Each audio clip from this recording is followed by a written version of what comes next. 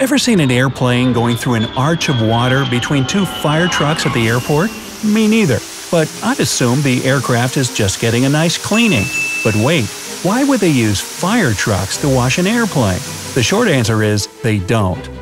Sometimes, on very special occasions, a usually even number of fire trucks equipped with water cannons line up at the airport to greet an airplane that just landed.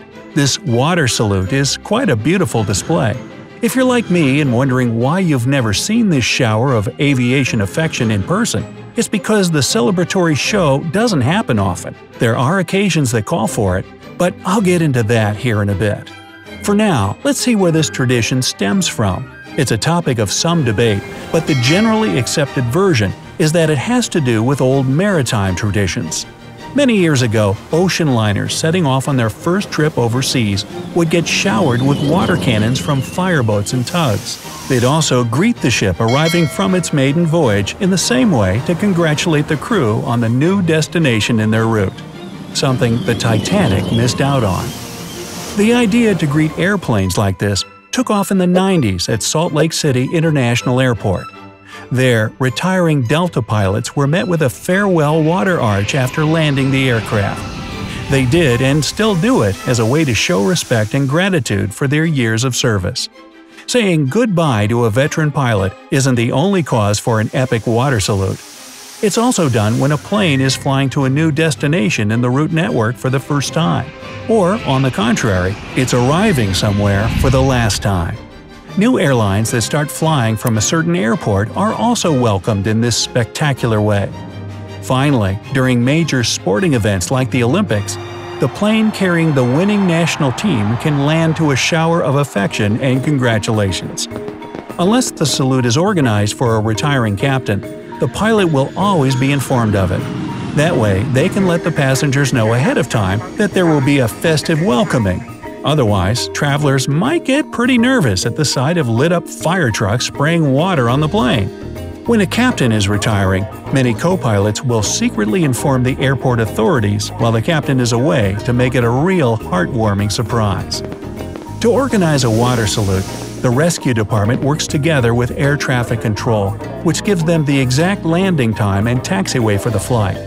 Fire trucks typically get on both sides of the taxiway, there are sometimes three of them forming a triangle of water streams meeting at the center. All of this lasts only about two minutes. But within that short time, they spray around 3,000 gallons of water 250 feet up in the air. Sounds like a waste of water at first, but don't worry, it's actually good for firefighters to use the water cannons and other equipment. It might be a good way for newbies to practice, and it serves as a way to check that all the parts are working. It's important to control the speed and direction of the water streams so that passengers boarding nearby planes don't get drenched. The fact that water salutes are a pretty rare phenomenon only makes them look and feel even more special. But they're not the only tradition you can find in aviation. Cutting the shirt tail after the first solo flight. The first solo flight is a milestone and emotional event for any pilot. It involves student pilots making a few loops and taking off and landing several times without any help from the instructor. After it's done, the new pilot taxis to the ramp where their instructor is waiting to cut the tail out of their shirt. This tradition dates back to the old days when the instructor sat behind the student in tandem and tugged at their shirt tail to get their attention when they were doing something wrong. There were no headsets to transmit that information, and it was too loud in the cabin to just talk to the student or yell at them. So, cutting the tail off is a way for the instructor to show the new pilot that they have confidence in them and won't be needing to tug on that tail anymore. This pilot can now fly independently. Some aviation schools hang the shirt pieces out on the wall afterward as part of the Hall of Fame. Grabbing a $100 hamburger. In pilot slang, a $100 hamburger means an excuse to fly somewhere for the thrill of it. I'm not talking about huge passenger liners here, but small private planes. For a pilot, there's nothing better than the flight itself, so the destination or cause really doesn't matter. Some years ago, renting a light general aviation plane for a round trip to another airport in the area would generally cost around $100. When asked why they went there, the pilots would explain it as grabbing an exceptionally good burger. Today that burger would cost way more than just a hundred bucks, but the slang for a flight with no particular goal keeps on living. Pancake breakfast fly-ins.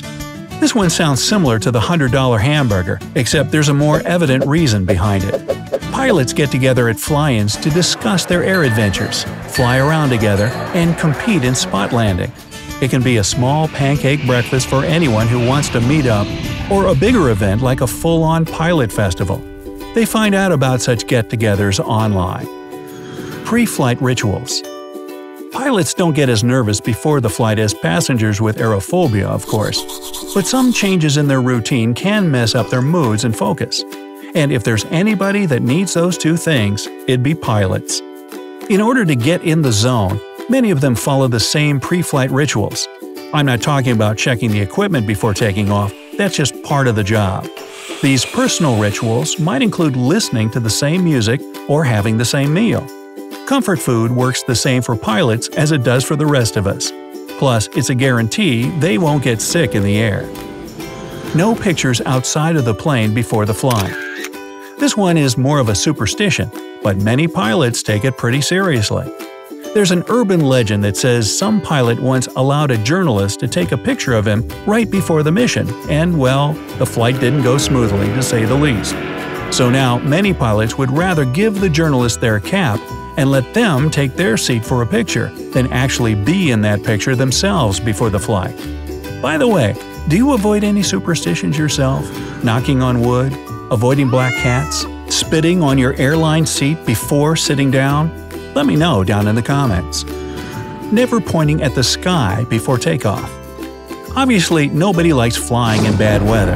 It makes passengers anxious, and it makes a pilot's job even more complicated. But it's not only about the ride itself.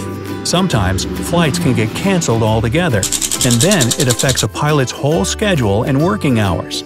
So, in comes the next superstition. Many pilots never point at the sky before going up, since they believe it can bring bad weather.